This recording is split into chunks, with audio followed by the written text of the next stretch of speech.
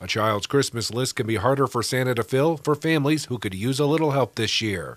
The Keweenaw Detachment 1016 of the Marine Corps League is currently holding their 16th annual Toys for Tots campaign in the Copper Country.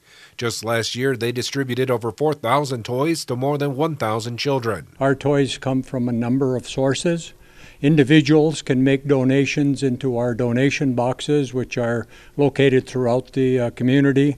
Uh, the, the big stores, of course, like Walmart and Shopko, along with a, a lot of other uh, smaller stores who step forward to support the Toys for Tots program. The toys need to be sorted out, so the public is asked to make their donations by the 12th of December.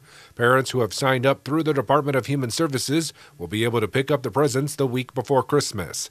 That's the day when the spirit of giving can really be felt and the joy it brings to the families. We see a lot of very, very appreciative parents for the assistance that they're getting because, quite honestly, a lot of these folks wouldn't know where uh, their children's uh, Christmas is coming from if it wasn't for, for this, this program and others like it. For ABC 10 CW5 News, I'm Keweenaw Bureau Reporter Rick Allen.